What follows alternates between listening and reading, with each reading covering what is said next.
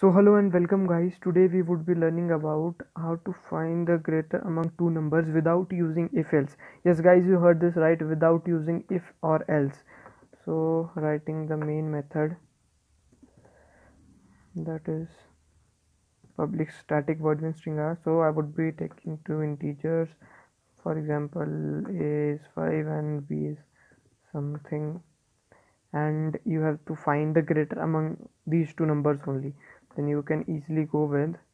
There is a library or a function called math.max okay that would help you to find the greater among two numbers okay? So this is my number. If I run the code it would be showing 44 that is the greater among two numbers. Or you could also have been done as int c is equal to math.max and the result you would be stored in C only. And you could have printed the word or the letter C in teacher letter C. This also gives the same answer. If we change our input for example change the input to 55 the answer is 55 okay guys. Also you can use another method that is ternary operator so what is a ternary operator? Let me show you.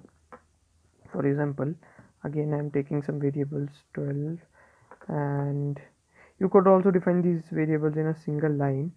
Just for the sake of convenience i am writing in two separate lines.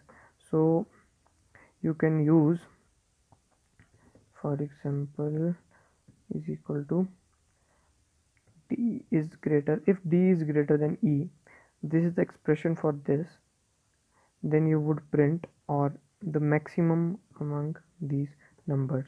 Okay guys. So print ln f because I've stored my result in here. So 55 for the above and for the ternary operator it is 22 or let me just make a okay if it's it's clearly visible that using the math.max function you can use this also as well as you can use a ternary operator so as to find out the greater among these numbers. So hope you like this video and do like share and subscribe to my channel. Thanks for watching